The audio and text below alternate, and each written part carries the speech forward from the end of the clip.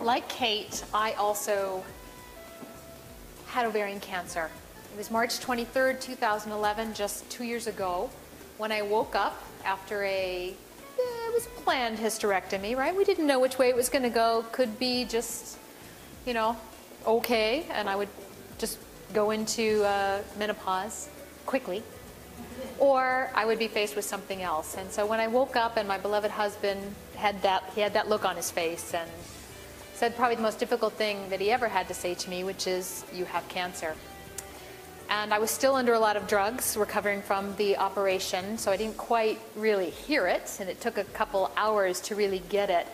But that's the moment that I decided that I was a cancer survivor. It was a decision that I made at that point that I was going to survive this. I ended up looking like this. I took it probably in my fifth month of chemotherapy, and I, I wanted to capture this journey and this experience. And I think really says a lot about what I did and what happened and the experience of being with cancer and dancing with cancer, sometimes I call it. But this was my attitude alive and kicking cancer.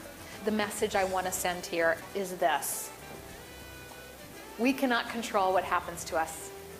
We are not in charge, but we can shape our experience. We can decide how it's going to be for us. We may not be able to determine the outcome, the steps in between, and they weren't always pretty. In fact, there were some really dark days for me. But some of the techniques, some of the ideas, some of the goofiness that I'm going to share with you helped me not only get through it, survive, but I think very much have a thriver attitude. The other thing about shaping your experience is your attitude. Again, you can't control everything that happens, but you most certainly can control your attitude. Now, I will tell you that um, for someone who has a good attitude, right, mostly, most of the time, right, Byron? Okay, some of the time. But I have a reputation for a positivity. I, I had a hard time in the early days, and my attitude was not positive. And I started telling my story and repeating all the horrible things, and I finally had uh, called a colleague to see if she would substitute for a speaking engagement. And she said, Well, how are you doing? What's going on? And I started in the saga complain, pity party, negativity. Here's what happened. Here's what happened. And she said, I can't believe I'm talking to Kathy McAfee. I mean, I've always thought you were such a positive person. I mean, I'm really surprised. And she wasn't being patronized, she was just reacting out loud. And that's when it hit me like, stop. Stop, shift, change. The pity party's over.